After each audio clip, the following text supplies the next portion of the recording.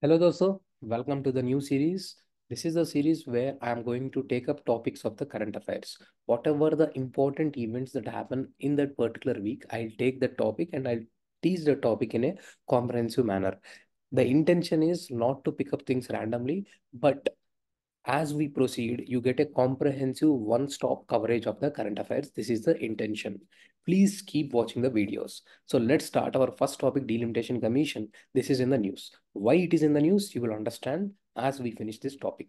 See here. See here, friends. Before understanding the Delimitation Commission, you need to understand that we follow the indirect democracy. Indirect democracy means for representing our people, we send MPs and MLAs. Everyone know this thing?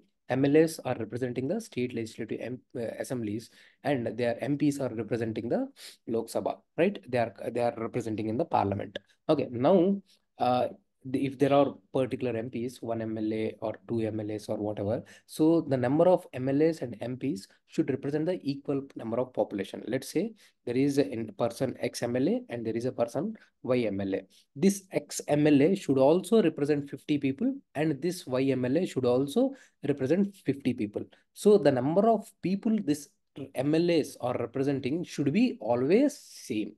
Same is true with the MPs. If X MP is representing the 50 people, Y MP should also represent 50 people. So there should not be disproportionate things in between. If particular MLA is representing 100 people and another person is representing 250 people, so there is no concept of democracy there. Okay, uh, so in that case, for suppose in one constituency, there are 200 people um, uh, one MLA is represent 200 people and another constituency only 10 people are being represented by the um, another MLA. So don't you think there is a disproportionate here?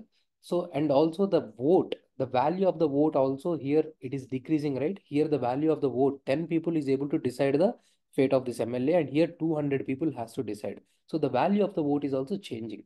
So in order to not happen this thing, so there is a proper demarcation of the boundaries. Let's say if this is the boundary, there should be proper demarcation like this, equal demarcation like this. So that here, okay, this MLA, YMLA, ZMLA, RMLA, so that there is a proper representation should happen. Now, who is drawing these boundaries? To draw these boundaries, we are appointing delimitation commission.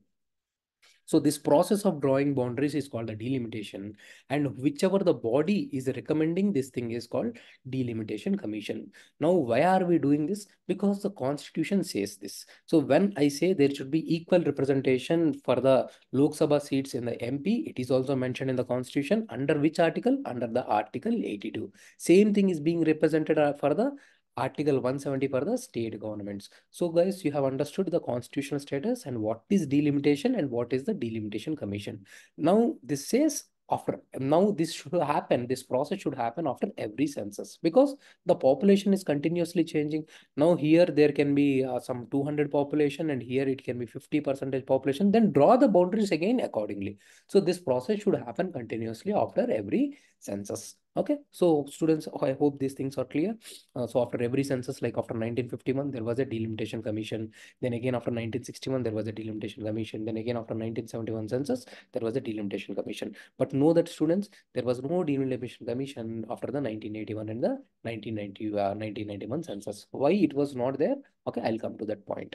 But before that, what is the composition of this delimitation commission? The three members will be present in this delimitation commission. It will be retired Supreme Court judge or High Court judge and Chief Election Commissioner and the respective state election commissioners. And whatever the orders they give, okay, they have the, they, they are binding. They cannot be questioned in parliament they cannot be changed in the parliament or questioned in any court of the law okay these these are final and these delimitation commission will also uh, recommend which constituencies should be reserved seats for the communities like SC and ST. You guys know under Article 330 and 332, certain seats are reserved for the SC and ST community. Now, which constituency should be reserved for this ST and which constitution for, reserved for the SC community? Who will decide that? Again, Delimitation Commission will decide that. So these are the two functions of the Delimitation Commission. Very important students. Okay, you need to know these functions. You need to know the commission and what is this delimitation and constitutional status also you need to know. See here Article 81. So um, you need to know uh, and also Article 330 and 32 should be should be read in line with the Delimitation Act. Whichever the act is new, that act should be read in line with the Article 330 and Article 332. Okay. Now again, so it is not just drawing the boundaries. If this is the uh, uh, if this is the entire territory, so it is not just asking to demarcate in this way. It is also saying how many people can be there to represent these people in the Lok Sabha. So after 1971 census, the Unification Commission said, keep the maximum strength to the 550. Initially, it was not this much. Okay, it was less than 500. So slowly the strength was increased. How the strength was increased?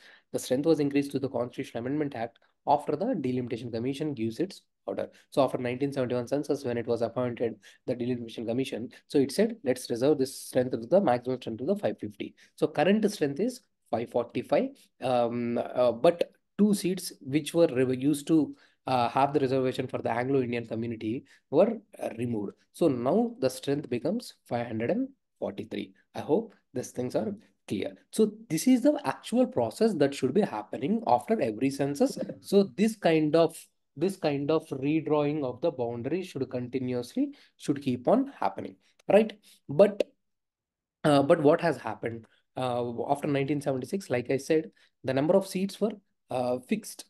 okay, like 550 based on the 1971 census. Uh, then for 20 years, almost for 25 years, the government said we will use the same census um, for the uh, de delimitation purposes. We will not change. The reason is uh, if the more population means more number of seats. So it will not encourage this governments to take the population control measures. So they said, we will halt this, uh, halt this data. So only the same uh, census data will be used for this delimitation purposes. This is what the government have decided.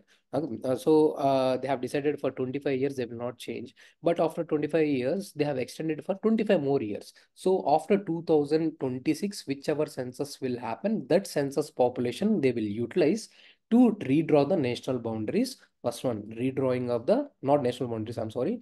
So uh, redrawing of the delimitation, okay, constituencies. So the uh, delimitation of constituencies will happen. And the second thing, it will also decide how many seats should be there in the Lok Sabha. The people are saying it can be increased to the thousand members. But mind you guys, so what happened was in the 2008, so delimitation has happened within the uh, these 550 was fixed, but these internal boundaries have been changed based on the 2001 census. So overall, the seats was fixed. Like say if UP were getting X number of MP seats and Maharashtra were getting Y number of MP seats, it was fixed. But internally within the UP, this boundary demarcations has been changed depending upon the population. Whatever the seat the UP used to get, that was fixed. But within this state government, within the state, the demarcation has been changed. Okay, so that is a point that you need to know. And they used a 2001 census. So that is a very important point that you guys should keep in mind while preparation. And also you need to know the state governments have no role in designing the borders of the constituencies. So now what are the issues that we are facing? Now the major issue is the first one is we are still using 1971 population census okay mm, uh, to to uh, decide the number of uh, seats in the Lok Sabha which is currently the maximum strength is 550 that is huge underrepresentation because the population after 1971 has increased a lot. So it is we are going for the underrepresentation. Now second issue is we we are going for the next delimitation commission after this 2026 whatever the census that happens. So we go for the delimitation commission based on that.